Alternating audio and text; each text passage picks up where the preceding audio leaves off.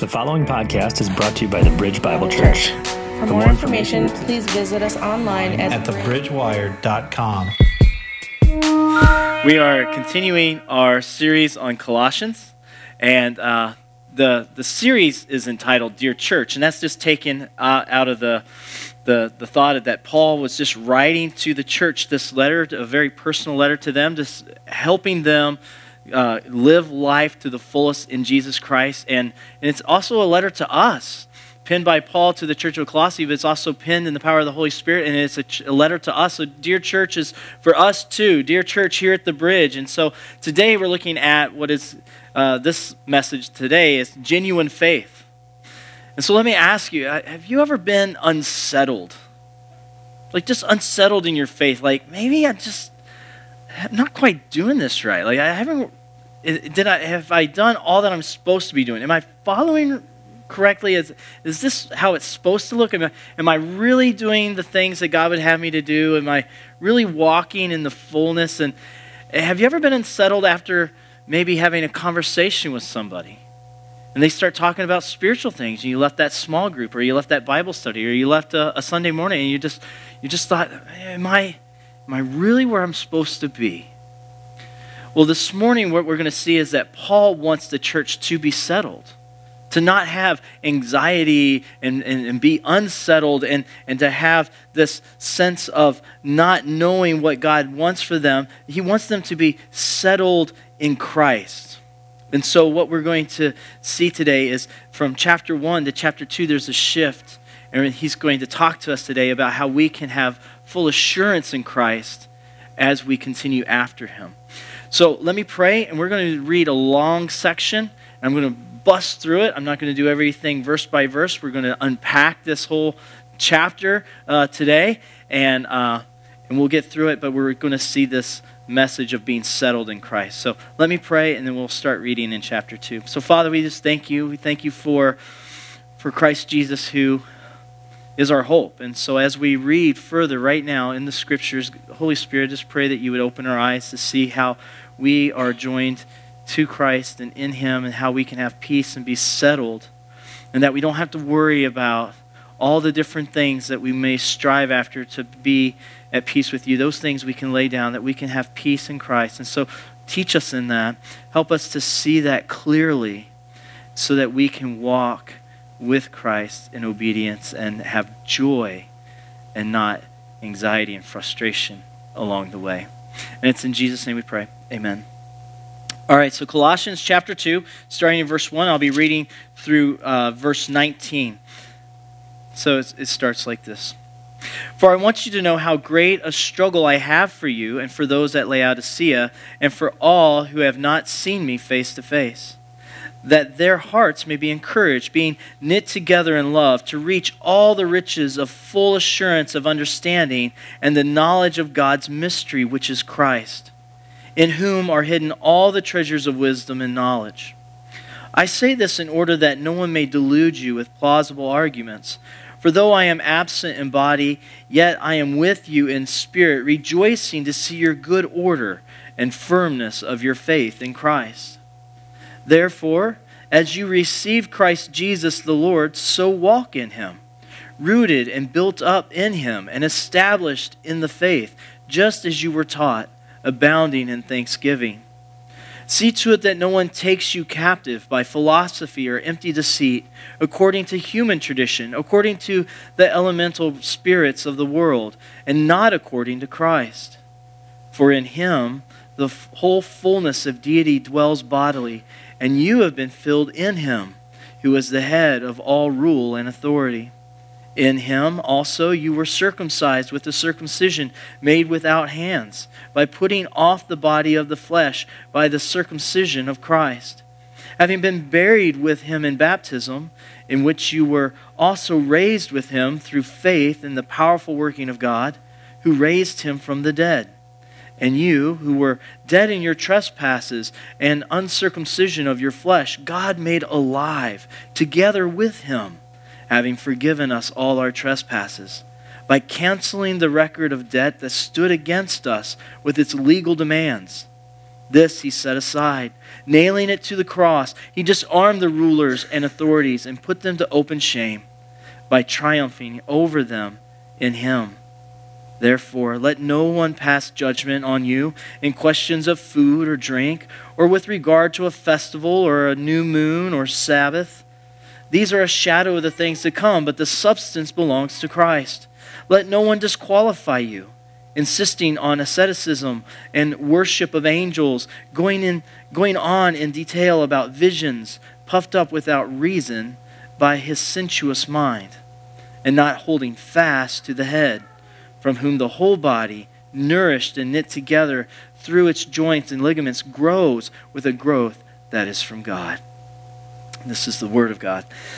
So, what we see here in Colossians chapter 2 is that Paul is wanting to have the church see that they, they have outside influences pushing in. And it can cause them to be unsettled. And so he starts in chapter one with this real positive feeling. So if you remember last week, we talked about our identity in Christ and who Christ is and what Christ has done, and that as a fellowship, as an assembly, they had love for one another that was really, really good and rooted there in faith. And he was just thankful for their faith. And, and so we saw this real positive uh, foundation that he was laying in chapter 1. In the end of chapter 1, verse 28, he says this He says, Him we proclaim, warning everyone and teaching everyone with all wisdom that we may present everyone mature in Christ. And so he stops at the end of that chapter with, with this statement of, in light of who Christ is and what he has done, we just preach him. We preach him to everybody. And we just share this great news of Jesus with everybody. And so you would expect like this, this good feeling to carry on in his next few paragraphs. But then all of a sudden he turns this corner and he starts talking about the circumstance that they're in and that there's the sense that there's people pulling on them and, and people wooing them away, trying to get them to leave Christ and to gain other spiritual things or add other spiritual things. And so it unsettles the soul. So, what we want to do is see that what Paul starts with is this foundation of living in Christ. It's much like the illustration of, of uh, those who work on spotting counterfeits for the government. And what they do is they train these employees who, who will look at money that comes across their path. They will know the original so well They'll know the type of paper, the ink, the feel, the smell. They'll know what happens when certain chemicals are applied. They'll know what looks like under certain lighting. They'll, I mean, they will know those bills so well that they don't study the counterfeits. Because the counterfeits always change and try to catch up and just have very nuances and, and, and to look like the original, but they're, they're not. And so they know the original so well that they spot the counterfeit. And that's what Paul is doing there. He says, here's our foundation. Here's Christ. Here's who he is. Let's really look at him. Let's center in on who Jesus is. And then anything that comes in that's not that, that's not Christ, we're going to recognize it. Anything that, that sets itself up against the knowledge of God, against the truth of God, we can take it down and say, no, we're not following that. That's not truth. That's not right. Jesus says, I am the way, the truth, and the life. So if we focus on Him, if we know Him so well, we know the truth, we know the way, we know the life. And anything that comes in, we are able to discern it and set it aside, and we don't have to have trouble in our soul. But so often we get distracted, and that's what chapter 2 is talking about here. How, how people are being distracted at the church of Colossae with these outside influences and they're being troubled. They're being unsettled. And he wants the assembly, he wants the church to be founded in Christ and be settled and to have full assurance. That's what he wants for us, to have full assurance. That we don't have to worry about what's happening around us. So let's look here at just a few things that, that just really bring this idea out that, that the world is, is pushing in. Verse 4 he says here, he says, verse 4 I say this in order that no one may delude you with plausible arguments. Now, this word deluded means believing something that is not true. So he's saying, you may hear some things that sound really good, these plausible arguments, and they will unsettle your soul if you go after them. And so many times, uh, often, you know, I think back to when I was younger in my faith, there was this arguments that would come in. I would hear other people, I talk about how I loved Jesus and I gave my life to Jesus and everything's changing. You know, I remember this as a, as a young man in college and it's like I heard the gospel and I said, yes, I want that.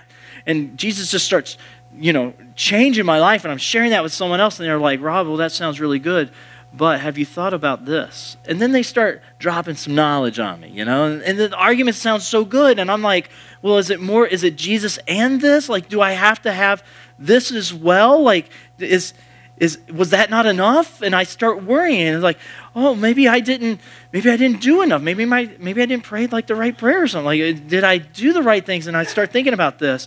And I talk with somebody else and they say, well, that's good, Rob, but, you know, really, until you start having this experience in your life, you're really not following God until you've really experienced this. And this is happening in your life. And you start seeing God in these ways. Maybe, uh, as we read here in the, in the passage, through the visions or maybe through gifts or something of the Spirit. And he's like, unless you've experienced these things, Rob, you really aren't following God. And then I felt unsettled. Like, am I missing it over here? I'm like, is that really what is going on? And I, I was trying to get settled in my soul, but I yet I, these arguments sounded good.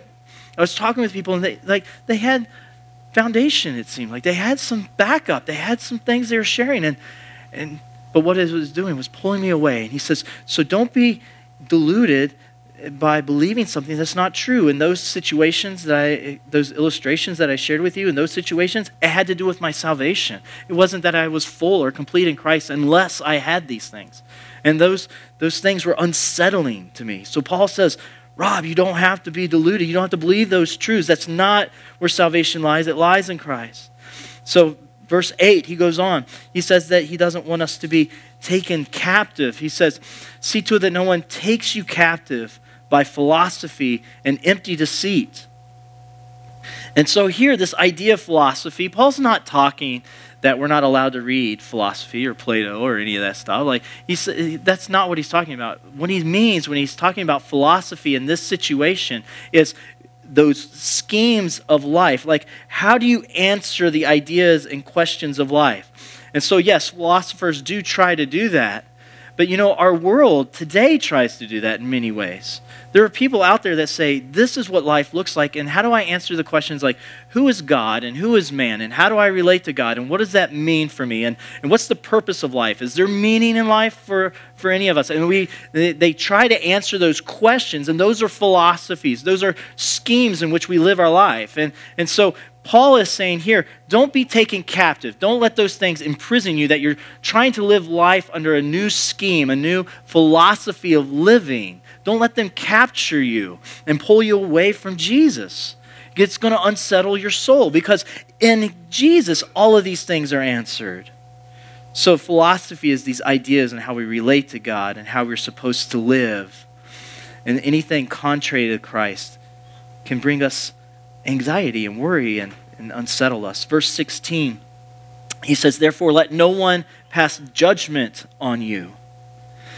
This is and we'll talk more about it, but this is getting to a context of like a religious state where here in this passage they're saying what, what you're doing or what you're not doing makes you acceptable or pleasing to God. Whether you are doing certain in this sense, it says here, let no one pass judgment on you in food or drink or regard to festival or new moon. So it, it, this is a Jewish argument that's coming out here in Colossae, but it, for us it's like saying, don't let someone pass judgment on you by, by what you eat or drink or, or what you do, what holidays you observe or not observe.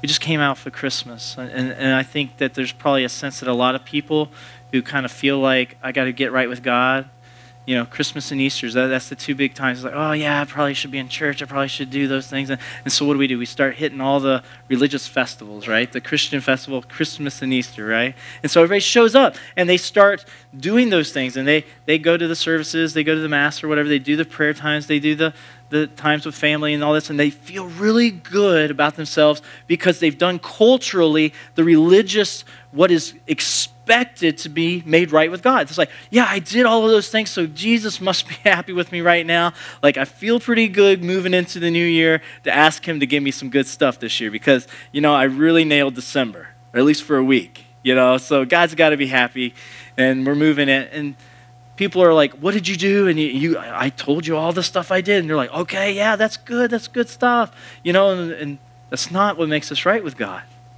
That's not what makes us acceptable and pleasing. And here, Paul would say, "Don't let someone pass judgment on you whether you did those things or you didn't do those things."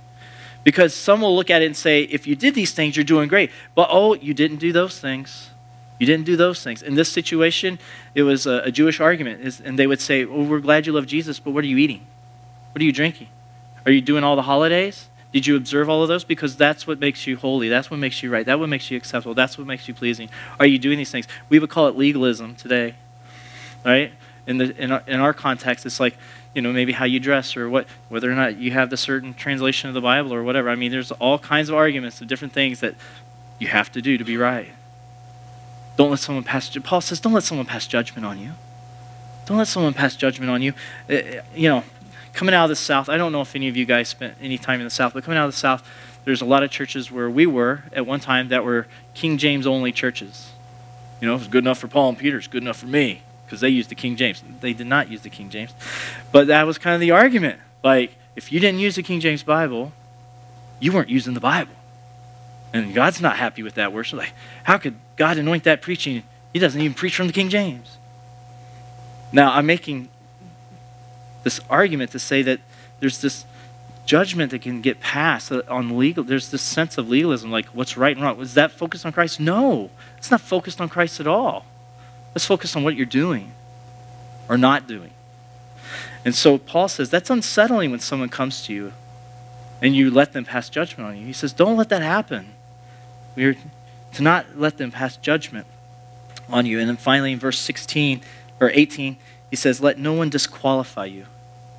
Let no one disqualify you. I mean, isn't that really, when we get to the, the end of it all, isn't that what we're looking for? Like, we want to be right with God. We want to have done the right things. We, we want to know that we have a relationship with God that's been reconciled, that, that God is pleased with us, and that we have relationship with Him, and that we're walking in, in a way that brings us with God in the fullness of Christ, and that, that we know we're doing what he expects us to do. And, and we have joy and we have peace and we're settled and, and we don't have to worry about God being angry or bringing judgment or, or trying to discern whether or not something in our life happened because of fill in the blank. I mean, aren't we trying to, to just find this sense of wholeness with him? And Paul says, don't let someone disqualify you because you don't have certain experiences. That's where this argument starts to go in, in, the, in the text. He says, in this sense, they're going to start saying whether you've done this or you haven't done this or you've had these experiences. That's what qualifies you before God. And Paul says, no, it's, it's Christ that qualifies us. It's, it's Christ who gives us wholeness. It's Christ that we're in. So don't let someone disqualify you by saying, oh, you're really not following Jesus because you haven't had this experience like I have. So don't let someone disqualify you. All of these things unsettle our spirit, they unsettle our soul. And so Paul wants us to know that we are to be settled, that we have an assurance that comes from God. And so there's three things that come out of the very end of chapter 1 and, and chapter 2. And so I'm really preaching the broadness of this today. I'm not preaching all the verse by verse as you've already gathered, but um, this broad sense, he wants us to see that we can have a, a, a, a life in Christ that is settled, that has peace, that is assured, and we don't have to be unsettled.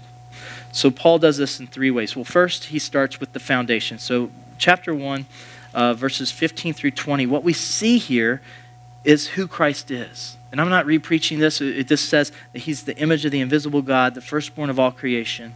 And it talks about who he is over all creation, and everything is his, and it was for him, and that he is the head of the, the assembly, the church here, and that he is the one who has brought us to reconciliation. It says in verse 20, and through him to reconcile to himself all things, whether on earth or in heaven, making peace by the blood of his cross. So, what we see in verses 15 through 20 is who he is and what he does. That's the foundation.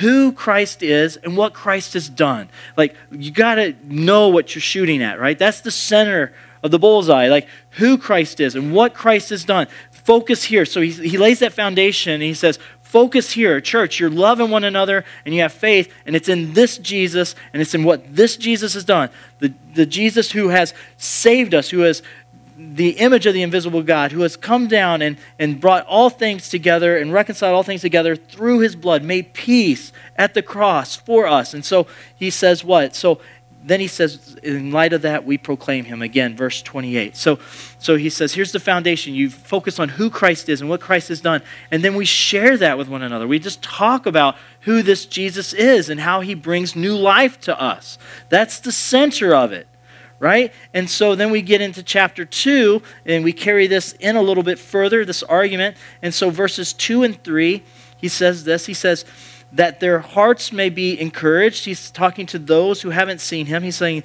that your hearts may be encouraged, being knit together in love, to reach all the riches of full assurance and understanding and the knowledge of God's mystery, which is Christ in whom are hidden all the treasures of wisdom and knowledge. And so he wants us to see that in Christ is all the treasures of wisdom and knowledge, and in Christ is full assurance, and we can understand what life is really about. So, what he's saying is anything that matters in life, when we talk about philosophies, anything that answers those questions, any other thing that matters in life, is found in Christ, in Christ alone the fullness of all of those questions who is God? Who is man? How do we relate to God? How do we relate to each other? How do I find salvation? Is there life after death? What is the purpose? What is my meaning? Like all of these questions are answered in Jesus. And he says, so this is where we focus and this is where we are to be. So Paul wants the church, he wants us, the bridge, to have Jesus first in our thinking. So when we think about life, when we think about what we're doing and why we're doing it, what we're going about, is Jesus first in your thinking? He said, well, that's where you should be centered. Like, who is Christ? What has he done? What does he have for us being in him? What would he have me do here? Like, Jesus should be first in our thinking.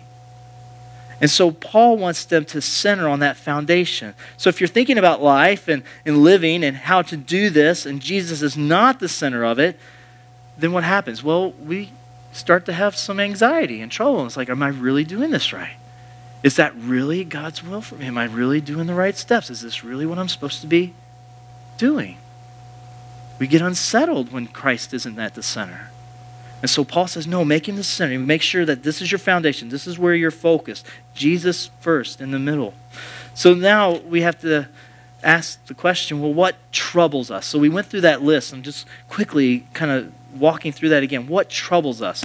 Well, what we see is that somebody or someone here in, in Colossae is, is just really messing with the church. They're harassing the church through different philosophies and traditions and different teachings. So you have a, a Jewish and Gentile culture, and that are coming to faith in Jesus, and they're blending themselves together as the assembly, the church, right? So you have people from different backgrounds coming together, which is a beautiful thing. You see that Christ saves all people from different race, tribe, background, tongue, creed. He brings them all together as his people. And now they're struggling with what do I do in Jesus? And so you have some that will say, well, you got to come over here and keep the law. And so they would, they would pull people away and say, you got to come and, and keep the law because in the Old Testament, God said this. And they start making plausible arguments. Man, they sound good. Yeah, God is a holy God. God is a just God. God gave us these holidays. God really established this. Oh, like in Jesus, like we should all be keeping the dietary law, shouldn't we? Like, man, yeah, I, I was reading that, and then I was reading the, what the Jews said about it, and then in Jesus, and then now, man, that sounds like a good argument. Man, I'm not doing that. Is God happy with me? you know? And Paul says, you know, it sounds like a plausible argument. But don't, don't fall into that. Don't get pulled away from that. It may sound good, but it pulls you away. Or the philosophies of life, like just trying to answer those questions like what do you do? How do you do it? And all those philosophies of life. Think about it. Like in the pagan culture philosophy was a big deal. And they were trying to answer those questions.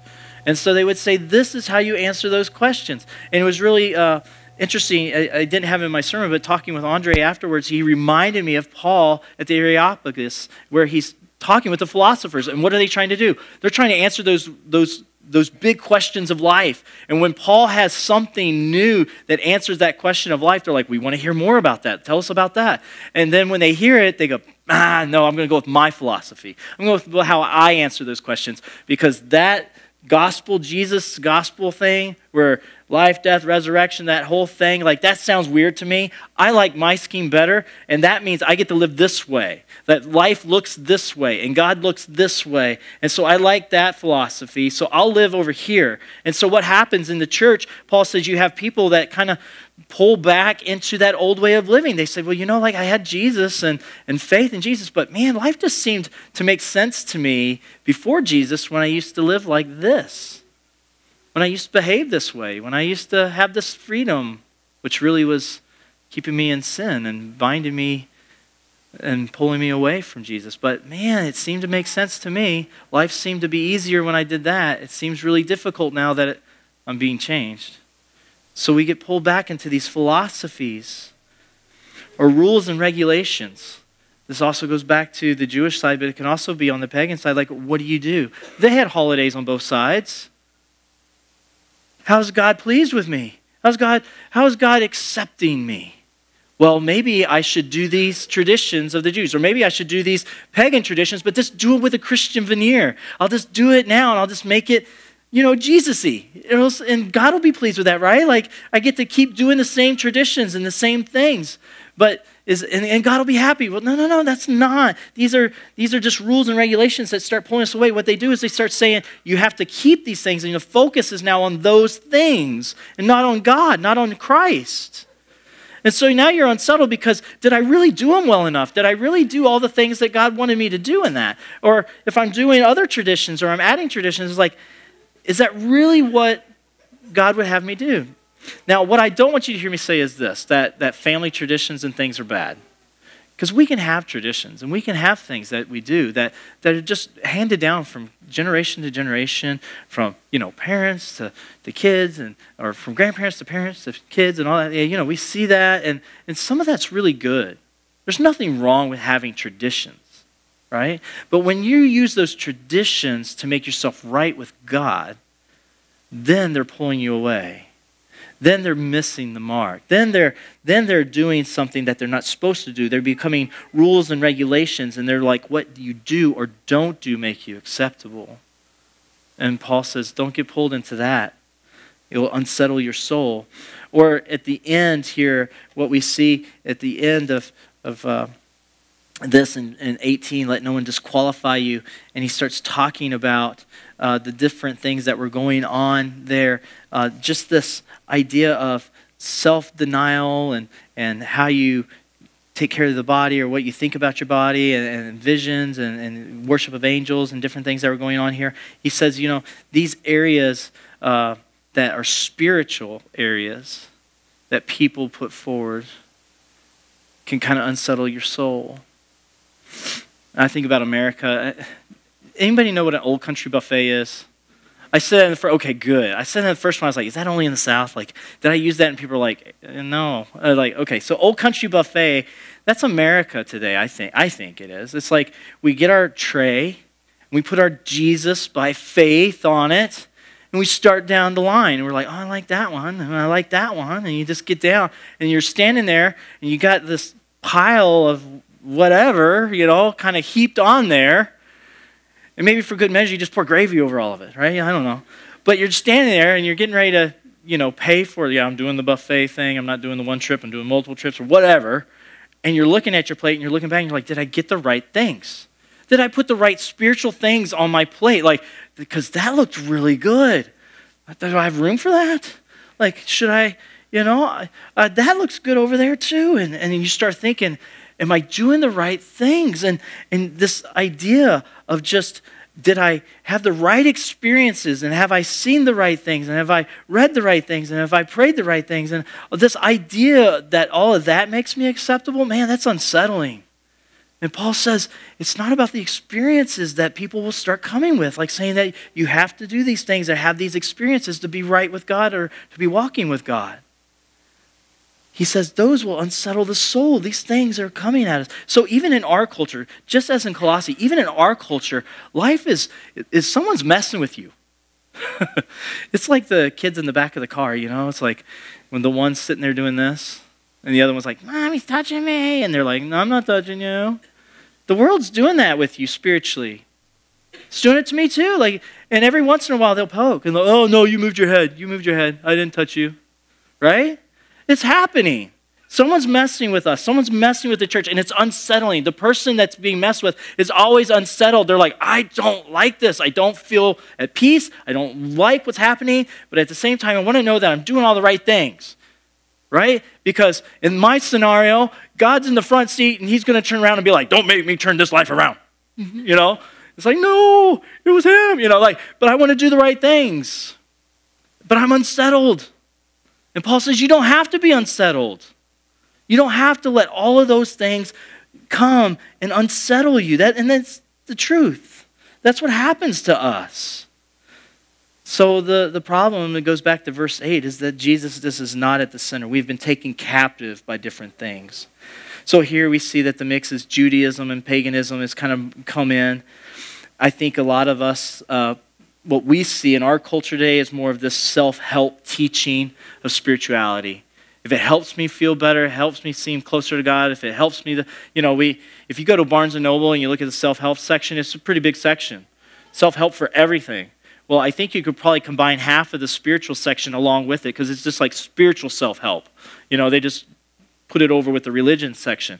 And so here, I think this is what we really see that, that you know, Paul is saying you don't have to worry about those things. And verse 23, we didn't read it, but this is what he says about them. Verse 23 These have indeed an appearance of wisdom. They look pretty good. They look smart. They look like they have wisdom behind them. But it, Christ is the fullness of wisdom. So they're not really giving us wisdom. They have this appearance of wisdom and promoting self made religion and asceticism and severity to the body. He says, but what? But they are of no value in stopping the indulgence of the flesh. What is he saying? You can do all those things, and this is unaffected. This right here doesn't change. All of those things will unsettle your soul and have you running after your tail, trying to be right with God, and your heart will not be changed. What it means is that you can have the appearance of change and not be changed at all. You can change your behavior, but you can't change your heart. And so, what he's pointing to is he's saying Christ is the one that changes here. Christ is the one who changes our heart. Christ is the one who transforms us. These things unsettle us and, and, and, capture us and keep us prisoner. But Christ sets us free and he changes the heart. And that's what we want changed. That's what needs to be changed. So people have this tendency of reverting back to their own ability, trying to strive after Christ and, and what they can do. And living this way, it drains a person, it steals their joy. I mean, think about it. Have you had conversations with a friend that where they said, Yes, I accepted Jesus, and now I'm trying so hard to follow him, and it's and the conversation shifts to, and now I'm doing all of this in my own strength. Well, you just told me like here, you're you're in faith doing this and walking in faith, and and this was good. And now you're saying, but it's up to me to maintain it. And it's not. That's what Paul's saying. It's not up to you maintain it. Christ changes you, Christ helps you through all of this. And so we don't have to go back to our old ways to make Jesus happy. And I'll show you why. This is the third thing. Christ is the one who settles us. So, how does he do it?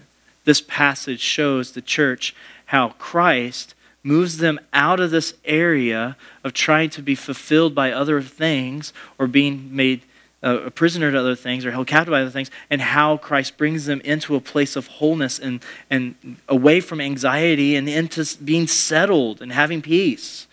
So, uh, looking at, at uh, a few verses here in succession, starting in verse 9, he says this For in him, that's Jesus, the whole fullness of deity dwells bodily. Jesus is God. That you want to have peace with God, then have Christ. Because he's God. The whole fullness of deity dwells in him bodily. Fully God, fully man has come for us. And he says, Come to me, and I will give you rest. We want rest for our souls. You go to the one who can give you rest, and that's Christ. Paul says, You want to be centered here. Those things don't give you peace, God Himself does and it's Christ. And that's in verse 9. Verse 10, he says this And you have been filled in him, who is the head of all rule and authority, and you have been filled. That's, that's a key thing right there. So it's by faith you come to Christ. And when we come to him by faith, he gives us his Holy Spirit. He puts his Spirit in us. We are filled by him. So now the one who can bring us peace is now inside us, transforming us from the inside out, changing us. He is changing this heart of stone and giving us a heart of flesh. He is the one doing the work. And He's not doing it by adding all these other outside things, He's doing it from the inside. The Spirit of God starts transforming our lives and making us see Him clearly so we can line up with Him, so we can see He's good and have joy in following Him and, and being in His presence. And so He fills us. So he, God, Christ, fills us, the believer. Verse 11, he says this. Got to find verse 11. In him also you were circumcised with a circumcision made without hands, by putting off the body of the flesh by the circumcision of Christ. Now, this is an image that he's going back, he's using uh, language that's very familiar to the Jews and, and, talking about circumcision. And they would say, You do this, you have this ritual of circumcision to be made right with God. And so it shows that you're part of God's family and that you are His. And so naturally, if you're going to come to faith in Christ, then you have to be circumcised. You have to, you have to come and have this done, right? You have to be like the Jews. You have to come to a Jewish Messiah in a Jewish way to find favor with Him and Paul says, no, no, no. He doesn't do it with hands. He circumcises our heart. And so what he's doing is he's using this image of circumcision, saying it's no longer in this physical way that they're trying to, to be connected back to God. He's saying what Christ has done is something spiritual, and he does it for every man or every woman who comes to him by faith, and he circumcises our hearts. And what does that mean? It means he cuts out the old sin, the old dead part of the heart that is dead in sin, and he purifies our heart, and he makes it healthy and holy, and he, he cuts away. He circumcises that which makes us unholy and he transforms us. And so he circumcises our hearts on the inside. Verse 12, he goes on and says this. He uses another image. He says, Having been buried with him in baptism, in which you were also raised with him through faith in the power in the powerful working of God, who raised him from the dead. Now, this is in theological terms this is a way of describing and talking about union with Christ. And so this is what it means. You were buried with him. When he died at the cross, when you came by faith to Christ, you weren't physically there, but spiritually, you died with him in that moment. You were joined with him at the cross. You were dead with him, buried with him. That's what the baptism metaphor is talking about. You were buried with him. He died, and you died with him.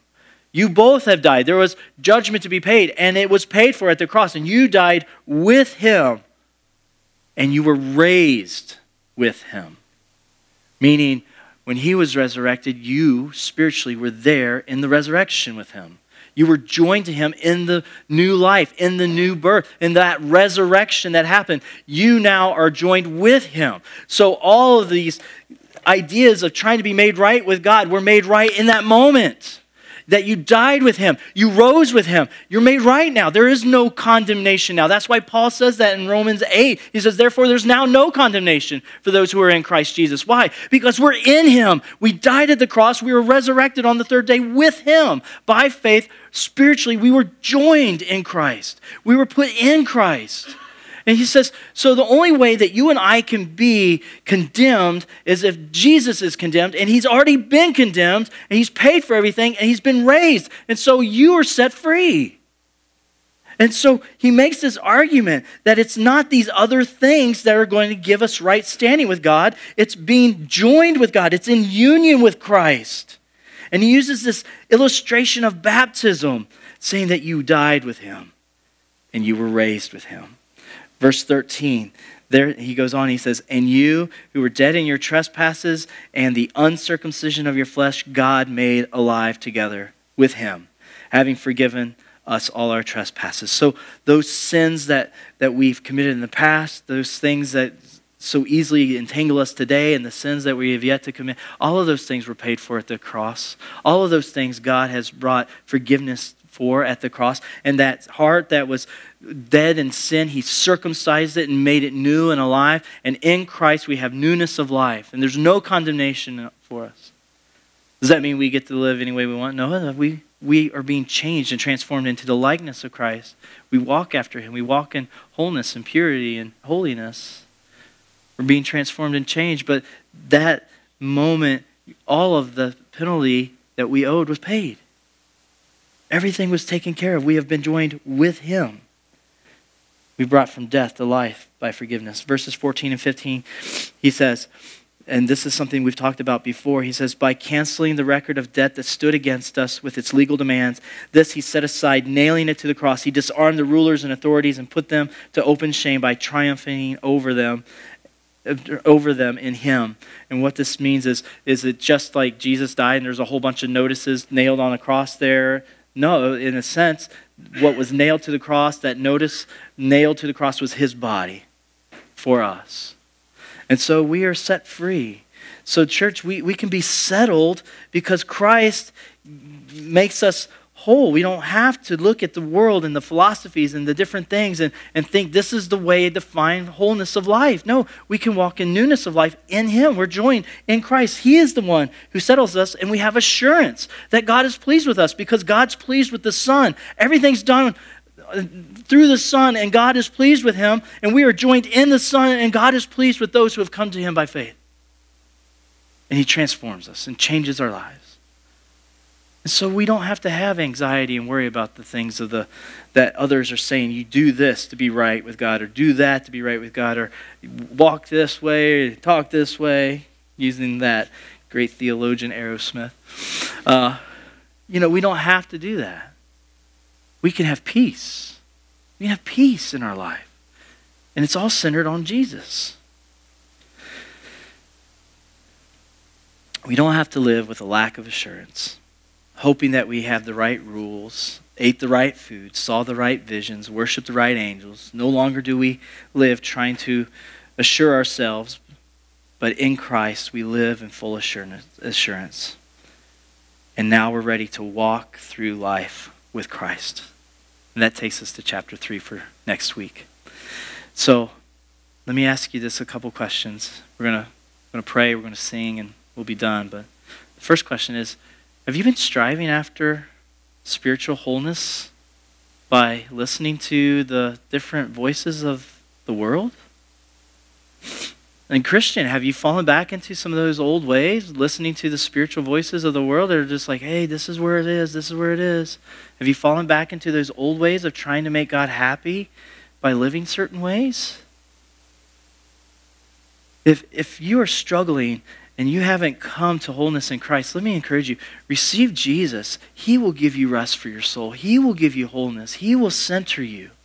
And all those things that you've been entangled in and trying to do to make God happy, you can lay them down. You can let them go, knowing that God's not going to be happy or sad. He'll be, he'll be happy that you let him down. But those aren't changing your standing before Him. And, Christian, if you've been entangled in those things, and when we sing, just ask the Spirit, hey, Spirit, show me where t- I keep falling into these patterns of living that aren't focused with Jesus in the center, and let me lay those things down because my soul seems troubled. I have anxiety and worry in my spiritual life. Help me have peace and wholeness in it. And lay those down. Repent of those things and ask God to show you where you need to lay those down.